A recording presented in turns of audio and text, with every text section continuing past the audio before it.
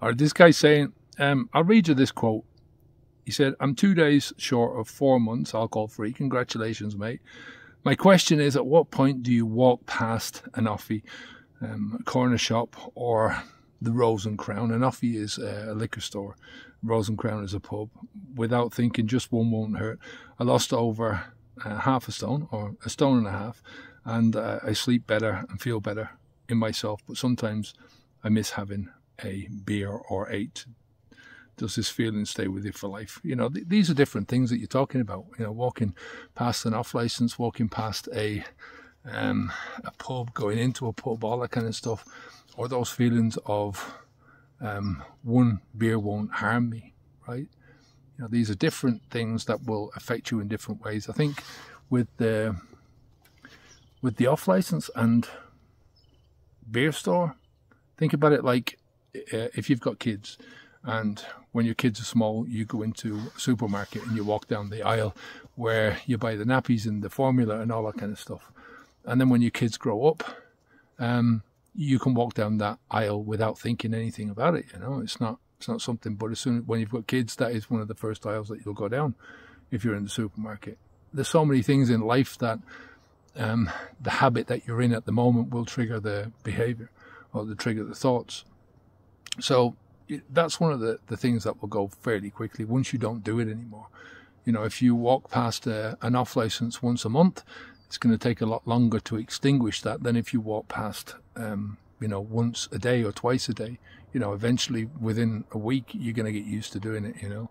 Same thing with bars. Uh, you've got no business in a bar really except for food if you're not drinking, especially, you know, if there's no food around and you're just there because you want to hang around with your mates you know that's not it's not a good thing. Eventually, that's going to kick you in the arse and bring you back.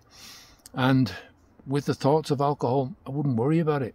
It's the thing about any habit is that it's uh, it's just a choice that you you make over and over again. And when you make that choice over and over again, your body considers it to be um, a behavior that you're going to do again. It gives you it's an option, but it's more of a de- it becomes more of a default option. So when you stop, um, the the influence of that habit becomes less and less and less as you move forwards. And that's what you want. It's not that your brain won't deliver it up as an option. It will become less frequent. I still get it every so often. And it's just like, for me, it's a thought of where, where the fuck did that come from, you know? It's not like, like you're gonna, you're gonna take any notice of it and do anything about it. It's just that, you know, it becomes an option. Think about all the things that you think every day that you don't take action on. You know, you might see somebody that you fancy, but you don't take any action on it, right? You might see some uh, somebody that you don't like, and you would like to smack them in the face, and you don't take action on it.